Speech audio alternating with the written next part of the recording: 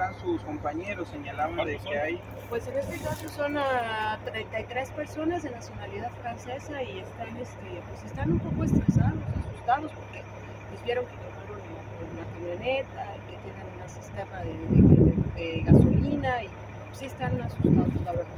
¿Qué es lo que piensan hacer ustedes? ¿Esperar? Tenemos que esperar, sí, pues estamos esperando a que nos den acceso, a que nos dejen pasar. Nosotros no tenemos nada que ver con el movimiento. ¿Usted,